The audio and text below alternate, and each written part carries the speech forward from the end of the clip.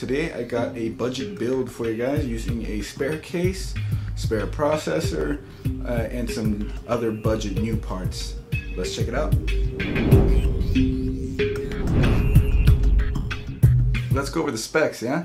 For fans, I got these Apevia fans. There's a five pack of these on Amazon for $30 and you, they have a three pack and I believe a two pack and you can go a little cheaper. The cool thing about these ones is they flow about like uh, 53 CFM and they light up great. It, they're not like four LED or five LED fans that you usually see in LEDs, but uh, or in LED fans, but they're 15 LEDs. Now I don't know if you can tell, but you see all the little dots, all in all in here, all those little dots, all those are LEDs.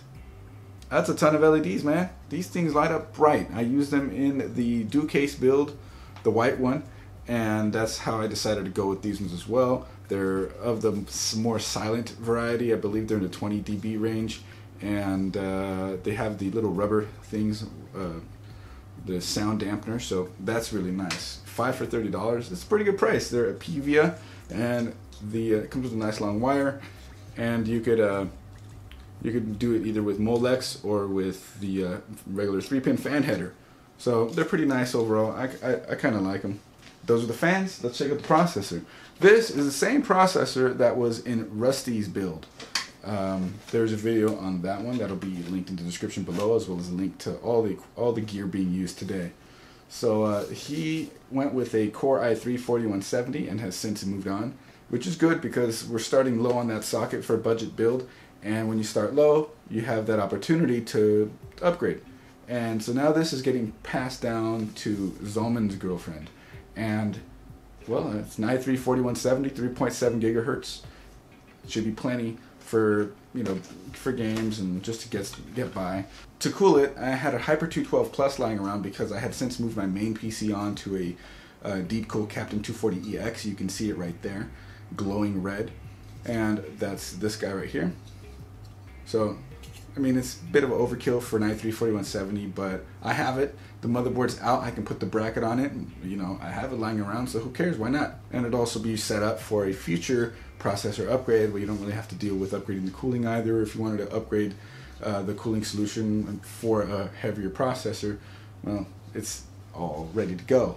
For hard drives, I have some spare 500 gigabyte 7200 RPM laptop drives and I have them set up in this one little bracket that can hold two of them at once.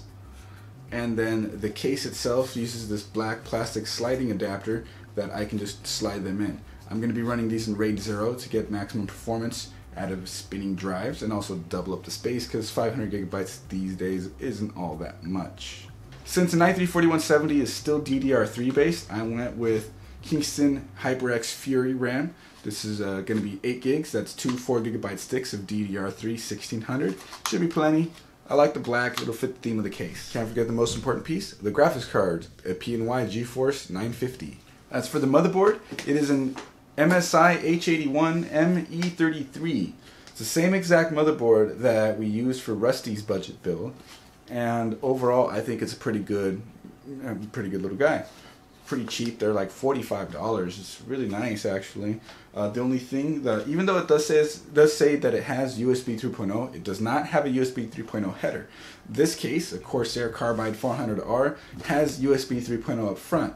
So we ran into the same problem with Rusty, and uh, my solution to that was this little guy, this little six dollar part, converts a USB 3.0 connection to work with the USB 2.0 header which this motherboard has. So with that said, everything will work and this will be nice.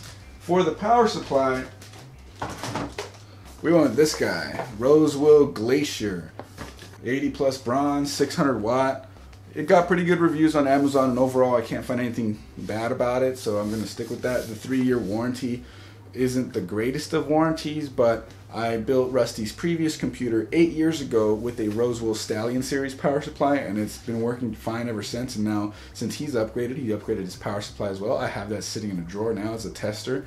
And in my experience, Rosewill power supplies are, are, are fine. I, I know that different uh, sub brands that they use, like Glacier and Hive and all those other ones, they um, they're made by different OEMs, so they're different series are completely different qualities. Just because one is good doesn't mean the other one will be good. But I'm gonna go ahead and take a little bit of a chance on this one. Three-year warranty, budget parts. It's not that big a deal, so hopefully everything will turn out well. The alternative was a Seasonic 600 watt as well, or I think it was a 550 watt semi-modular, and and it was like 50, 55 bucks, which is pretty good. But by the time I got around to ordering it, it was out of stock. So this was the alternative for the for the money. Back to the fans real quick.